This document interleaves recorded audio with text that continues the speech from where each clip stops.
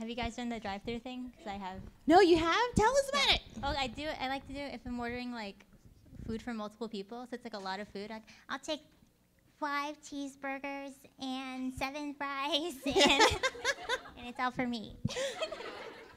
I used to do it. Okay, way back in the day, there were these things called landlines. It's a strange telephone that connected to the wall. Couldn't carry it with you. It had to, it had to be connected to the wall. And you didn't know who was calling. People would call and it didn't show a number. You just had to answer it to find out. It's crazy. I feel like a grandma right now. But back in those days, we had what were called telemarketers. And that's one of my that was one of my favorite things to do is because people would call and you don't know who's calling, so you pick up the phone. Hello. Uh yeah, is your mom or dad home?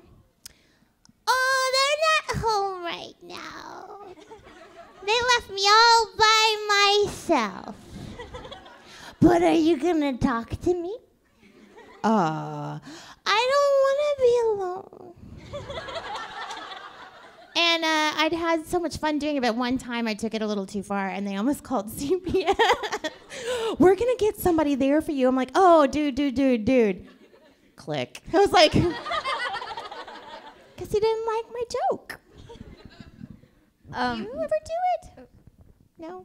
You will now. The most I've ever done with a telemarketer, I didn't change my voice. I just told them that I had died. it's like, Jamie doesn't live here anymore because she passed away, and I would really, really appreciate it if you guys would quit calling and asking for her because it reminds me every time. and they apologized. It worked for a while. My friends and I used to prank call um, the Jelly Belly company.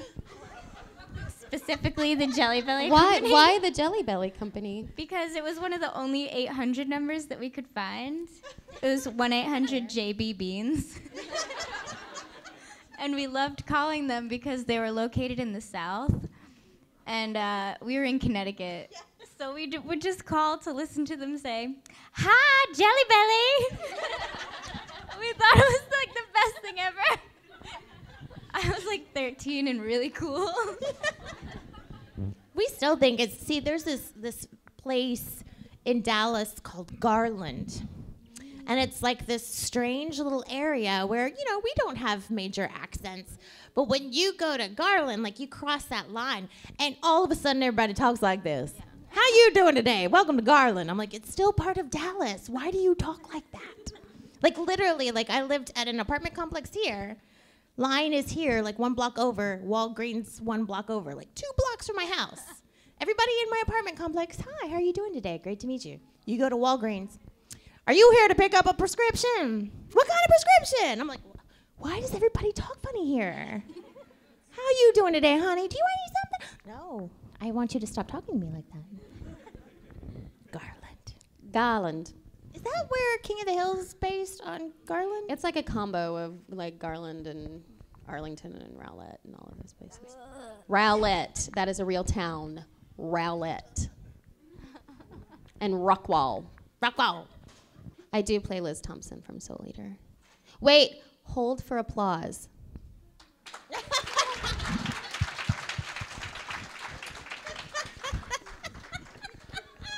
this is fun. what was your question, or did was that your question? Okay.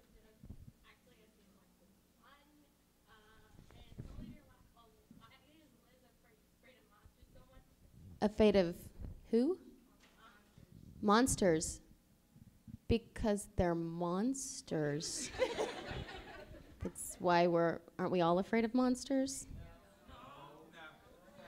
Oh, that's Well, that's why you're not in Soul Inc. Eater. no, that would be why.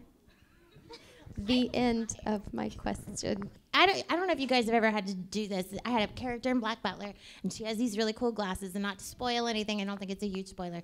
Uh, in the Japanese, when she takes her glasses off, she sounds very different.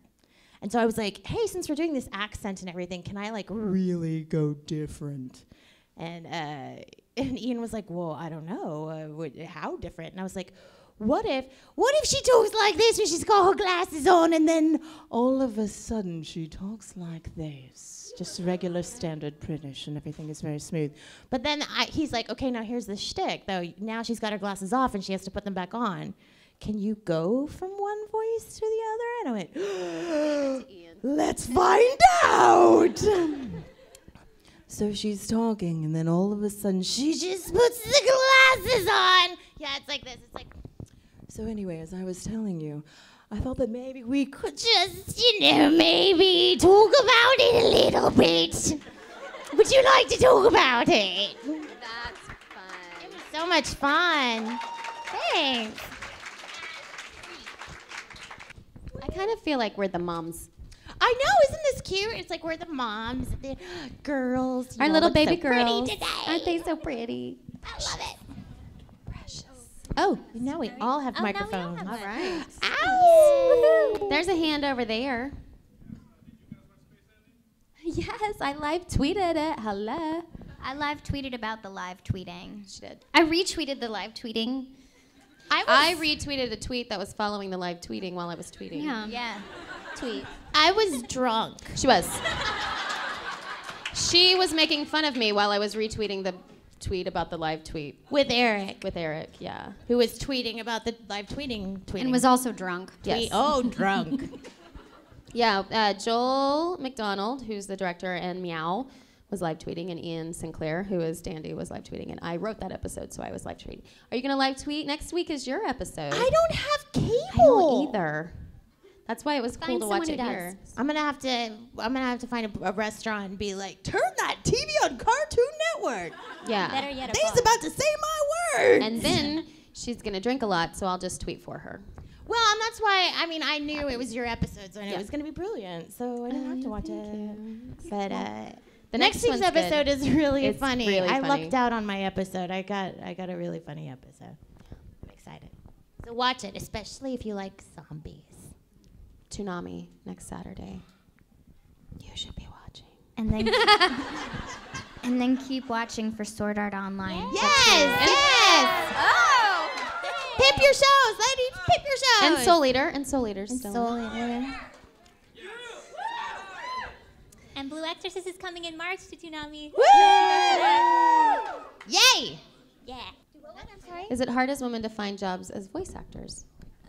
It's hard to find a job as a voice actor in general. Yes. It's the second hardest industry to get into besides modeling. Um, and yes, the competition is way intense because there are always more females going out for roles as compared to males. But on the same token, there's a lot more women parts in anime. But there's still Especially in a lot of comparison to film work and theater work. Mhm. There's there are a lot more women in anime. I think that's why like people ask, how have you done so many? But I came in at a time when dubs were just like started rolling and they just started hiring actors. They were just using the friends and that are in the next room to let's dub some anime. You've never acted a day in your life. So they started hiring actors and then because I naturally sound like this, I played every little girl in the history of little girldom for like four years. And then finally, these ladies were born and grew up. And so then I didn't have to play every little girl because I have, and that's the thing too, because people ask me about Tia all the time because Tia Ballard came in, the whole reason she works at Funimation is she came in and auditioned for me. And everybody's like, You've got to kill her. She sounds like you. And r- at that time at Funimation, I was the only. Um, and I was like, no, because there are so many roles in anime for women, and especially for that I was like, I'd actually like to have somebody so that maybe I don't have to play the little girl all the time and I can do something different. So it's weird because, like, in general, in theater and film and commercial voiceover, there aren't a lot of roles for women, but in anime, especially now with the harem show, which I don't really like, but at the same time, hey, Light Bill, what's up? Yeah, fan service pays the bills. And that's what's funny too, just so y'all know, like I've worked on a lot of older anime, but like not the original dub. like I think somebody on one of those sites has me listed at like Monica dubbed this in 1982 and I'm like, I was seven. Uh, so no, but thanks. Uh, but Robotech or the the Macross, which was originally Robotech. I remember when I was a kid and Robotech was on television. Really dating myself. Um, and I had a Lisa Hayes doll. And I remember having that Lisa Hayes doll. I didn't really know what Robotech was, but I thought it was cool. Um, years later, fast forward, and Matt just cast me as Misa Hayase, who is Lisa Hayes, and I had no idea. And I got in there, and I'm like, whoa! And it was really, really fun to go back to something because we were working on all this newfangled anime, and then we went back to that, and the story is so good. And I understand why it was changed for Robotech, but it was nice to see the original. So it was a good show. A funny story about that, though, when I started working on that show, I had just started working at Funimation, or I'd been working at Funimation for just a little while. And um, we do things differently. At Funimation, we do the beep method, which I think is industry standard, where you get like beep, beep, beep, and you start talking on the imaginary fourth beep. At ADV um, and Sentai now, we do what's called the chase method, where we basically just watch the scene and then we go back and just talk over the Japanese.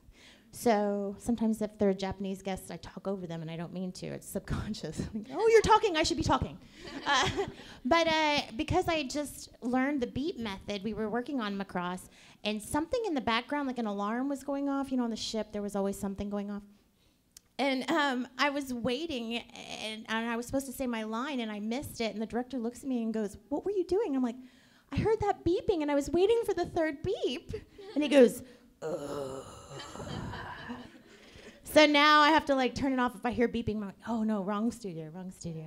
But that was a lot of fun. That was a lot of fun. Ooh, Mondays. I may or may not be on West Coast time. I don't. I, I feel like I could be anywhere in the world right now, because literally I like got off the plane and went to the hotel, and I don't think I've even been outside Right? since like Friday. Jamie and I walked outside on purpose today because We I was like, like, I don't know, smart." remember what it feels like. Yeah, we, wa- we, we walked in the parking lot so we could feel the sunshine. It was Uh, so nice. I, think was like, I'm- oh, this yeah. is Miami. Hi. I'm lacking in vitamin D majorly. Yeah. Well, usually when I audition, um, I choose a voice for the character, and I base it off of their personality and a little bit off their photo that we get along with it. But um, usually in the first session, the director and I will spend anywhere from like 10 minutes to, to half an hour just like deciding on a voice for the character and locking it in. So um, it's kind of like a collaboration between me, the director, and sometimes the producer as well. And it also depends what the Japanese actor sounded like, because they want us to sound pretty close to the original. So I like to try out things on my cat. because you always end up talking in a stupid voice to your pets. And then, and then I'll try and like uh, bring it into to studio and be like, "Hey Tyler, can I try this one?" Mm, And it usually doesn't work, but some one day, one day it's gonna happen, and I'm gonna really get to practice a lot at home with my little kitty cat. I personalize all the animals in my life, and they have their own voices. So uh, I discovered a little boy voice because my brother's dog Chewbacca, he's like this big, and he either looks like a grumpy Chewbacca or a really happy puppy Chewbacca. And so he's like, "Hey, hey, can I go outside? I want to go outside. Can we go outside? I want to go outside. Hey, hey, hey." So I was doing that, and, Lu- and my brother Luke was like, uh, you know, like that's pretty good boy, boy. I was like, oh, well, all right. Sweet. And my dog, her name is Leela because she has one eye. Um, it doesn't work though. She's blind, but she's her voice. She's much more chill. Her voice is like doorbell rings. Uh, you gonna get that? Like, maybe thinking about it, maybe, or Hey, hey, hey, I want to go outside. hey, hey, hey, pick me up, put me on the couch. That's Leela. Layla. She's adorable. Um, But my voice to her is, also um, I I don't know if it's a blessing or a curse. I think it's a blessing. Um, I work for for Funimation in, in Dallas, and then I also do a lot of work for Sentai, which is like the new ADV. it's the same people, different companies. Um, so I have a four-hour drive that I do at least once a month, and that four-hour drive consists of me in my car with my sunglasses on, going. I wonder what it sounds like if I talk like that. Ooh, that's fun. Record that. Okay. Um, how high can my voice go? Like just an idiot. So if you ever are on the stretch of freeway between Houston and Dallas and you see some crazy lady in her car, like just, you know, doing stupid stuff and making crazy noises and laughing to herself, that's me. I do that too. I like I'm like screaming and I look like I'm really really mad sometimes. I'm like I'm not. I'm just talking to myself. And then one time I did that be- before a session and I like broke a tonsil or something. Like a lump developed in my throat because I screamed too loud. Yeah. Oh, Oh, oh mood The room lighting. feels bad for me too. Yeah, the lights are like, oh. That's sounds horrible. painful. That does sound yeah. painful. Like it's just like like I swallowed a hard candy and it just won't go down. No, no. Pass. Yeah. It healed after third time. I guess it just I don't know. I didn't know. Here's something they don't tell you is if you do a, a voice where you have to whisper a whole lot. I was playing Hyatt in Excel Saga. She talks really high and whispery, and I got a sore throat, and I went to the ear, nose, and throat doctor, and he's like, "I think you have windburn on your vocal cords You can get windburn? from whispering. Evidently, if you talk in a whisper for too long, and I was doing like eight-hour days, you can actually like." get your vocal cords all kinds of worn out and I had to take two days off and not talk and I'm like I'm just whispering it can be dangerous it's a dangerous that. job folks Yeah, so when you're lo- that's what Yeah. they just because I was a vocal major um, in school, and um, in the old college. Yeah, they always said if you're losing your voice and you have to sing, like don't whisper, like it's terrible for your voice. Like it's what you naturally want to do because you're thinking I'm saving my voice, but you're not. You're hurting it a lot more. Wow. So, you know, remember that, It people. Do you guys watch preview all the time? Because we do, I think. We watch preview, yeah, Yeah. definitely. But But we watch preview not- before, like when we've already been cast. But Right. um, I mean, it depends. Uh, s- sometimes I, I will research and watch a couple episodes before an audition to get a general idea. But I mean, you can quickly forget that, and so you really sort of rely on on the side and and making your own interpretation because sometimes that's better. Yeah, Yeah, I think, you know, we can sound similar without mimicking the voice because a um, imitation is, is never going to be the same thing as what we create with our own voices and our own personalities and our own acting ability. As far as our creation of a character is going to be far more truthful in that situation than an imitation of something, someone we don't know.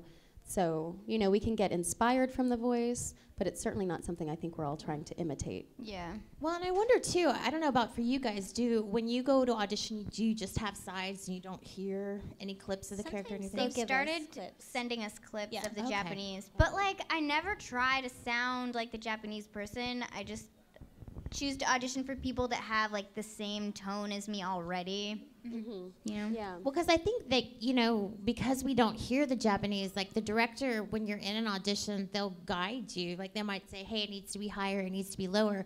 And a lot of times we end up sounding like the Japanese. Like I'm sometimes surprised when I go in to record after I've auditioned because I'm like, oh, that does sound like me. Oh. But we don't ever hear it ahead of time. And I think they do that so we don't try to just mimic what we hear, but come up with something different. I like this light show we're getting. What's Fancy. Yes, white hat. A Three-part three-parter. It's getting intense. I love it. It's all ladies asking questions, and it's all like, I have a two part, I have a three parter. I have a mm-hmm. four-parter. She's got a holy trinity of questions. Go for it, Zitty. This, I con- this convention has been a lot of fun in particular, I would say. I like getting to meet, um, because just we all record individually. So we don't always get to meet the people that we've been working with. Like there's people that I've, you know, like I talked about, where it's kind of an incestuous world. You play somebody's sister, and then their mother, and then their dog, and then their brother, and you're like, I wonder what that person's like. And then you go to a convention, you get to hang out with them, and it's cool. And then we get to meet other people from other studios. Made new friends. Yeah. And we work in such a weird, weird industry that it's nice to have people that we don't have to explain what we do. We can just go, hey, you guys, you know when that thing happens? Isn't that crazy? And they understand what we're talking about, and that's awesome. Yeah. This particular weekend, every it's been like a great group. let's all make new best friends. Like the whole weekend, you know, with everybody. Everybody's been so cool. Yeah, we and I mean we have like we all go to a, a lot of them, and, and and I think that you end up going like Jamie and I go to a lot of conventions together because of Panty and Stocking. Uh, Chris and Eric and I go to a lot of conventions together because of Dragon Ball. So you have the people that you see all the time, but then it's like. I know you, well, except for Jamie, because she and I like to hang out all the time. But the other guys, I'm like, I know you. I'm going to go hang out with these people I don't know. Yeah. If you want to come along, you can come along. But if not, then I'll see you on Monday. Yeah, generally, if Monica and I are at a convention, it's kind of a package deal. Yeah. But it's like hanging out with two of the same people. What? Why do I keep doing that? I'm tired and my shoulders have a mind of their own. Your shoulders are still awake. Yeah, they Yeah. are. Nothing else is. We're all trained actors. Like that's part of our rep. That's what we do. That is what we're paid to do. Is to be able to tap into that stuff quickly.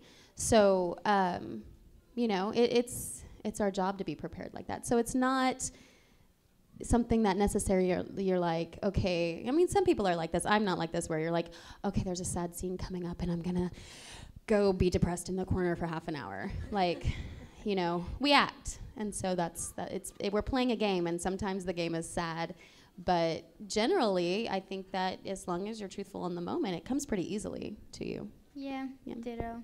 I actually enjoy the sad scenes a lot, right? It's like so fun to So cathartic. Yeah. I like them because sometimes, like, usually it's so heightened. So it's almost like acting in a telenovela. It's like y- it's it's upsetting or sad, but it's not just like oh that's sad. It's like sad. Yeah. Which is awesome because as actors on stage and on film, they want everything to be so realistic. And then you get in there and like, I can finally be that dramatic woman I want to be. yeah. I my favorite direction recently has been let's I mean it needs to be more dramatic, a little more dramatic. I was like like a telenovela. and the director was like, "Yes." So every time I read something, it would be like this. we have to go now. that was really fun. It's so much fun to do. I'll tell you the show and then you do it cuz it's perfect. oh, saddest scene. Mm. Definitely when Sugu finds out the real identity of Kirito. Oh my god, my heart broke for her. Yeah, it's like, so she's. Oh, actually, I shouldn't give it away. You can tell us later. Okay, okay.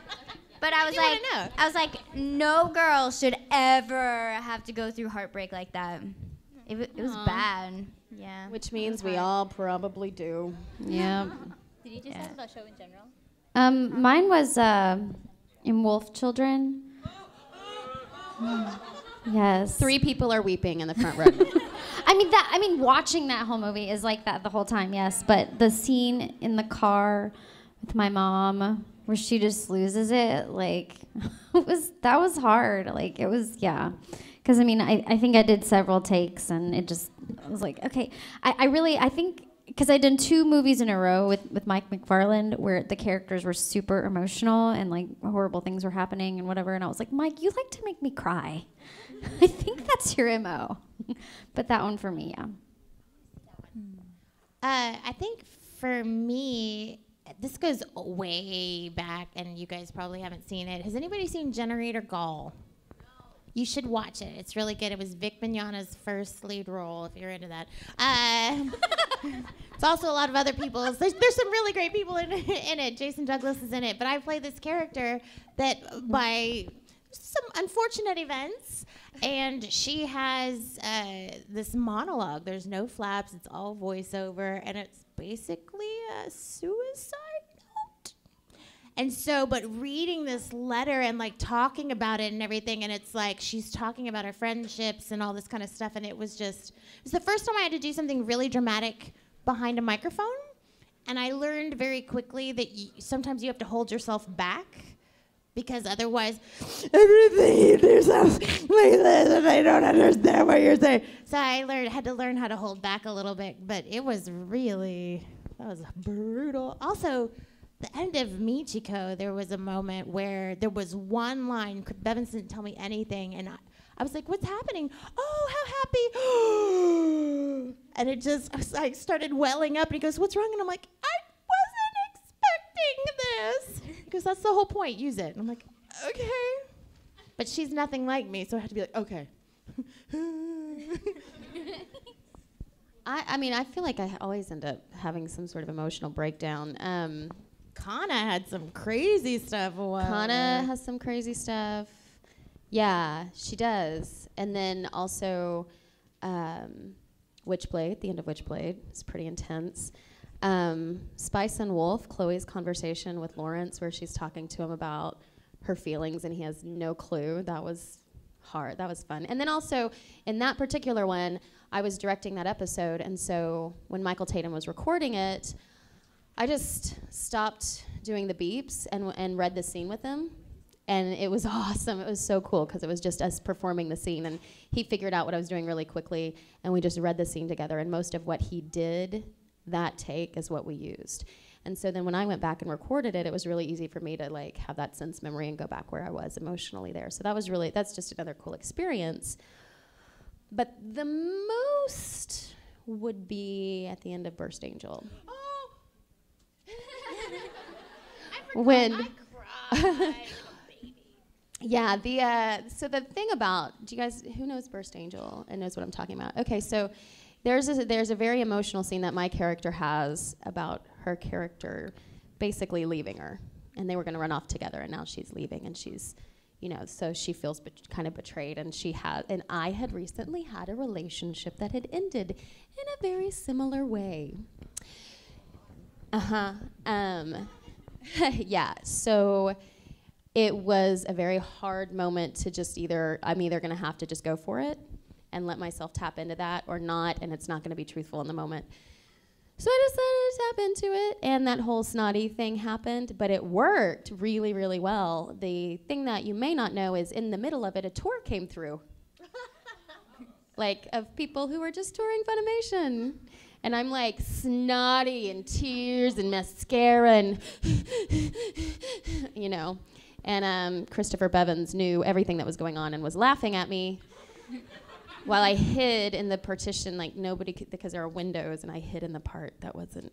And then I would step forward for a little bit, for a few lines. But yeah, even in the commentary, if you listen to the commentary of that, like it gets real quiet during that scene, and you hear Alison Viktorin say, I feel that. It's like, yeah, I did too. Or it's not. It's not Viktorin anymore. Well, and then there's the the shot of the scarf. yeah, After Yeah. all of that, and then you. Oh. yeah. Such a good show, you guys. It is a really good show, and it's also the first time at the end of that show is when I first met Monica. Woo! And uh, everything started. She thought I sounded like that. I thought she sounded like Joe. Like this. That's what I had heard. So when I met her, she said, Hi, Jamie. I was like, who is that? who is that person? I'm Joe from Burst Angel. I'm What? Joe. And you were there with Miguel? Oh yeah, my little brother. Yeah. Miguel Angel. What's your? Oh, um, mine is probably either the I think episode ten of Madoka, because you find out what Homura is really doing and why. I know The same feels- weepers. and and also the like I really cried at the end of um, K-On! when everybody like graduates and leaves me behind. Oh, that scene made me tear I up. like, I couldn't even hold it back anymore. Like I was like, yes, I'm acting, I'm acting, and then it just like fell out, and it was yeah, because it felt K-on's, like, real. not even an emotional show either. It's I just like know. we're all graduating later, Azusa. I know, and then I like bawl and I'm like, don't leave me. so probably This is going to be like the end of the notebook in a minute. A lot of the shows we do are pretty over dramatic, over the top. and I we guess. worked as directors, so we got to see all kinds of actors doing really, really crazy, stupid things in the booth, and it was awesome. Yeah, we both have held auditions. oh man. Sorry, th- I, it made me think of. Have y'all seen Kenichi the Mightiest Disciple? It's a bunch of dudes, right? And I just started directing at Funimation, so I had every dude ever that I had never worked with come in.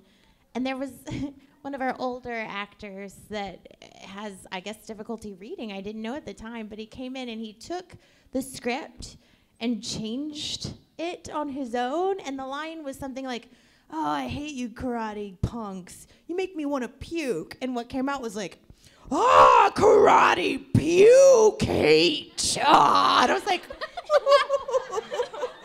and me and my engineer, because you don't want to laugh because he sounded great, but I was like, what are you saying? But we were sitting like the way that studio was set up is that the actor's right there and we're right in front of him. So my engineer, which was Kyle at the time, we were both like sinking into our chairs behind the monitor so we could be like, what the? And they were like, thank you, that was wonderful. We ended up using him, but in in my mind at that time period Kyle was cutting his hair so in my mind he was in the chicken hawk phase and so I just see this chicken Yeah. hawk sticking over the table kind of wiggling. yeah I'm not a fan of Klondike. I mean, they're all bars. right. They're I don't really. I've never. Maybe I've had like a Klondike bar once. yeah I probably wouldn't do anything for a Klondike bar. right? I'd be like, take your Klondike Yeah. bar and get on my face. You're not yeah. you know what? There are a lot of sweet treats. Yeah. There were a lot of sweet. Now, if we're talking Thin Mints, that's a different story. Ooh. or French macarons. Oh. Or or a Monica Creole cupcake. Ah. I'll make some. Hooker can bake. My Elvis cupcake. Oh my god. an Get Elvis ready cupcake? for Even your this. strawberry. I want It's banana cake, banana cinnamon cake what? with a peanut butter cream cheese icing. what? Oh. I'll make it without peanut butter. We'll make Almond butter. almond Can butter that? icing, and then you drizzle it with honey and put a piece of candied bacon on Oh top. my God. Although I will tell you, for Halloween she made peanut butter cup cupcakes. It was a chocolate cupcake with peanut butter cream cheese icing, Mm-hmm. and inside was a Reese's peanut butter cup. So you bite into Mm. it, and in in the middle of the cupcake was a peanut butter cup. See, I'm trying to cut It's down amazing. on eating them, so I make them for other Yeah. people. Because then I can watch you guys gain the 15 pounds, and I just go, "Wasn't that good?" Mhm. Yeah. Um, can I just can I just tell you guys that Iron Man just got here? Where? Holy shit. If there's Yeah. an RDJ in there, you're in trouble. I love Iron Man.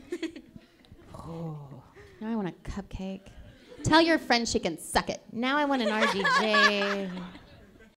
I think that, I mean, I'm happy. I, I think that we all, I mean, I can't think of a single show I've done that I didn't like. So I'm happy that people like it. But there are shows, and I usually am not one to just be like, you should watch this show. But there are shows that when people ask, they'll be like, what's the one anime that you want people to see? And I go, Kurau Phantom Memory. And nobody's heard of it, right? You should all watch it because it's absolutely gorgeous. Or shows like Michiko and Hatchin, shows that like really, really tear you up inside, and you're like, this is really good and different. I know that Negima's fun, but why don't you just put that down for a moment and have a life changing experience? because the harem show will always be there. That's a good question. What are some of your like most underrated shows? Like if you could tell all these people like it's great that you like One Piece and it's great that you like Sword Art, but what is the one thing that nobody's watched that you think is awesome? I always this this happens online a lot more because I'm never I'm never annoyed. I'm always just like grateful and happy and all that business that that you guys watch any of our stuff. Thanks. Um, but um, we do like to. I will throw it out there for Michiko and Hatchin again, but I feel like that's getting out there. But um, there's a, so, a show called Shangri La. Nope. So there you go. Yeah, um, it's really, really good and different and weird, and it has Kent Williams like as a transvestite, who and he's like amazing. I don't know. It's really, really cool. So that's the one that I would say check it out if you haven't yet. It's really, really cool. Me and Cassandra were in a movie like when I first started called Oblivion Island, and I get really excited whenever people bring that up. It's actually distributed by Funimation, but yeah, Yeah, like, not a lot of really people good. know it, but it's like really touching, and the animation is beautiful. Mhm. It's like Production IG's first. Uh, it was 3D, so Yeah, yeah, it's like Toy Story, and it like or what is what would you call it? It's like Alice in Wonderland meets Toy Story. yeah. It's about like not forgetting your forgotten things, because then somebody will take them because you took it for granted. It's so It's cute. really Me cute. too. It's really cute. So you should watch it if you guys get Yeah. the chance. Yeah. Also, um, has anybody heard of First Squad? One. Woohoo! One, two. Okay, cool. It's actually a Russian anime, and um, it was the first thing that I'd ever done for Bang Zoom where I had like the lead role. So I was like super excited. Um, so I'm this like 14 year old psychic girl named Nadia, and it's during like World War II, and she gets like kidnapped, and it's a little it's it gets really dark, but it's really exciting. So like yeah, I was like really excited about that, like for that to come out, but then it didn't really do anything. But um, the people that have watched it, they really enjoy it. So check out First Squad. Yeah. I have um, a couple, one that I'm in and one that I wrote. So the one that I wrote uh, that I love, it's super quirky and super funny, um, is called O Edo Rocket, and it's a it breaks the fourth wall constantly. The the Japanese is the anime is based on a play, and in the Japanese, it's very self-aware that it is based on the play. So our dub is very self-aware that it is a dub based on a Japanese anime that is based on a play. And so there are a lot of inside jokes. It's really, really funny, and I like that one a lot. It was so much fun to write. And then uh, Blassreiter is one that I'm in that I feel like more people should see. I really like it. And there was a late night panel. It was my first late night panel, and it was at Otakon, which I don't know if you know about that, but that is there were thirty thousand people at that one, and they're like, "Come do this," and I'd never done one of those like eleven o'clock at night, flip a coin, ask people anything, and there were jumbotrons, where they would zoom in on your face.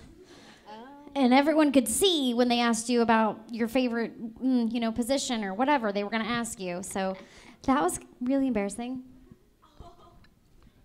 That, I can't believe they just threw you to the wolves like that. They didn't warn you or anything? Well, or well, something? n- I mean, Todd was there, so he was pretty distracting. He would take off his shirt and whatnot. So there was that. It's pretty much the reason he does those. yeah. I was like, oh, this is happening. Oh, okay. I'm not easily embarrassed. In fact, I, I usually challenge people. Like, go ahead, try. 'Cause I'm really. But there was uh, there's a director, a Japanese director named Akitaro Daichi, and we were doing uh, an OVA, and he came over and we went to SakuraCon, and he had a book, like it's a translation book where they show you the picture, and then it has the Japanese kanji, and then it has like the romanized Japanese, and then it has the English word, so that people can like point at things if they need to say. So I was looking through his book while, while we're talking through a translator, and I noticed that there's this whole section where it's like parts of the body.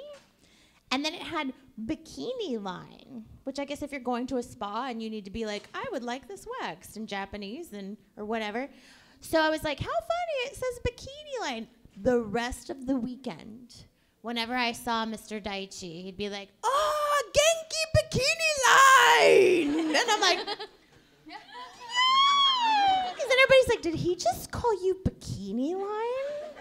But it's more like a bikini line. I was like, oh, hi. Oh. He was funny. I am also not easily embarrassed. Um, I can't really even think of anything. I mean, when I came in the building today, Jade was with me, and my skirt flipped up because of the wind. But then I was like, "Whoop, hello."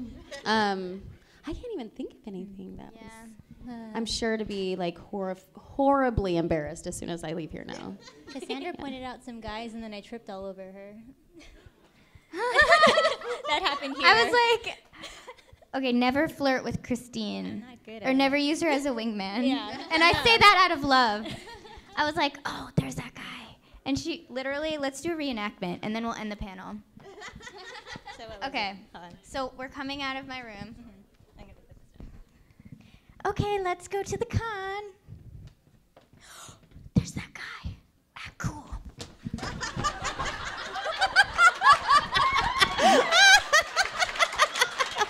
Thank you and good night.